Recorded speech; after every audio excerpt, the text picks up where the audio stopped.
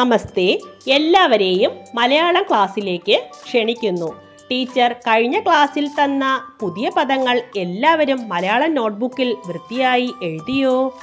ഇനി ടീച്ചർ ചോദിക്കുന്ന ചോദ്യങ്ങൾക്ക് എല്ലാവരും കൃത്യമായും ഉത്തരം പറയണം. താരയുടെ ചങ്ങാതി ആരാണ്? ആരാ? അതെ കുഞ്ഞിക്കോഴി താര വന്നിട്ട് എന്താണ് ചെയ്തത്? താര വന്നിട്ട് കൂട് തുറന്നു. കൂട് തുറന്നപ്പോഴോ? കുഞ്ഞിക്കോഴി പുറത്തു വന്നു. എന്നിട്ടോ?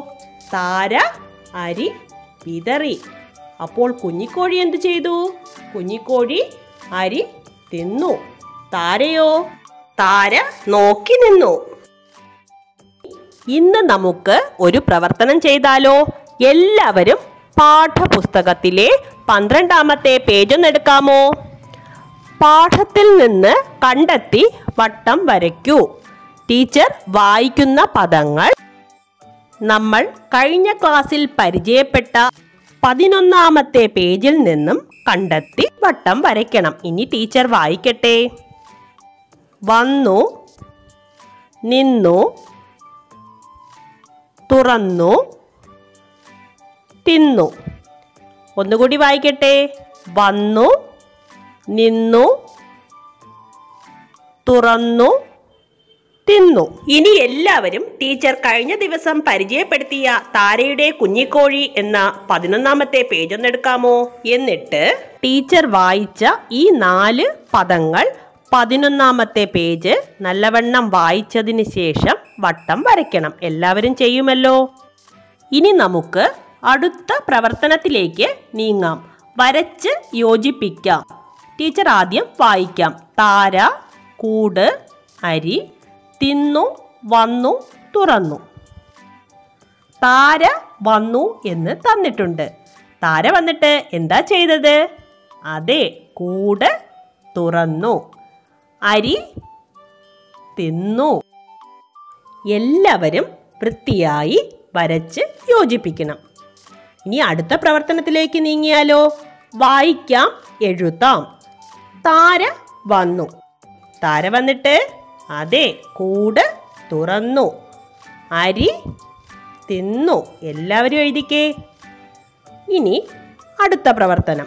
താ എന്ന് തന്നിട്ടുണ്ട്. അടുത്ത അക്ഷരം ഏതാണ്? ര താര. അതുപോലെ ആ എന്ന അക്ഷരം തന്നിട്ടുണ്ട്. ആ കഴിഞ്ഞിട്ട് നമുക്ക് എന്തെഴുതാം? അതെ ര എഴുതി ഈ അടയാളം കൊടുക്കുമ്പോൾ എന്താ വായിക്കുന്നത്? അരി. അതുപോലെ വി എന്ന് തന്നിട്ടുണ്ട്. റി എന്നും തന്നിട്ടുണ്ട്.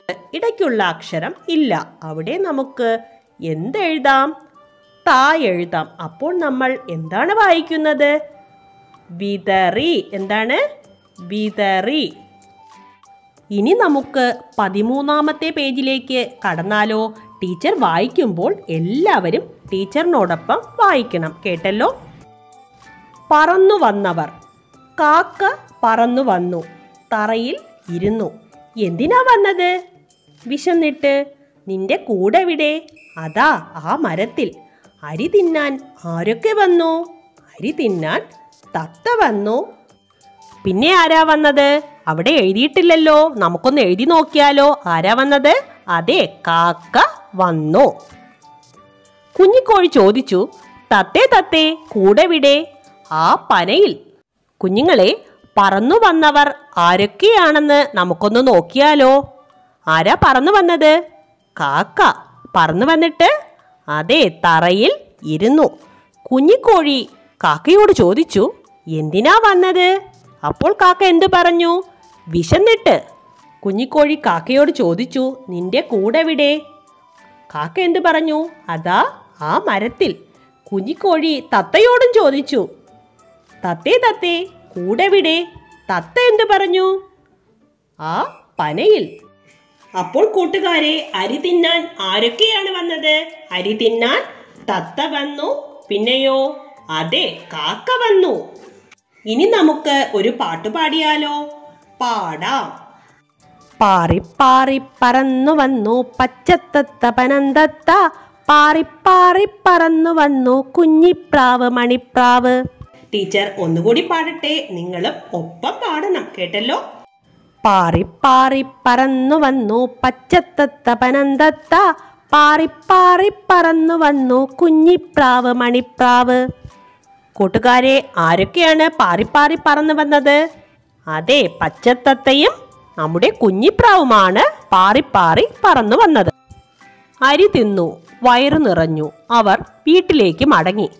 കൂട്ടുകാരെ വീട്ടിലേക്ക് മടങ്ങിയവർ ആരെല്ലാമാണ്? ആരൊക്കെയാ? അതെ കാക്ക തത്ത കുഞ്ഞിപ്രാവ്. ഇനി നമുക്ക് അടുത്ത പ്രവർത്തനത്തിലേക്ക് നീങ്ങിയാലോ? വരച്ചു യോജിപ്പിക്കാം.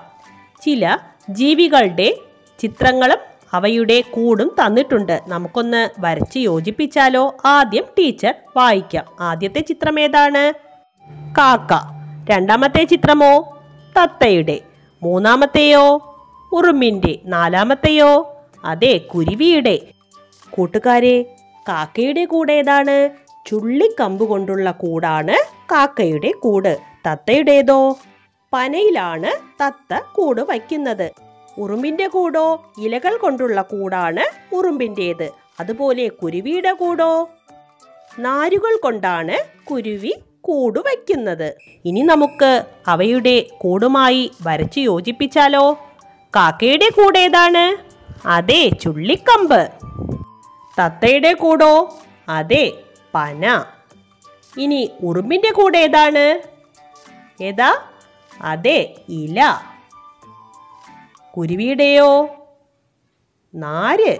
ശരിയല്ലേ?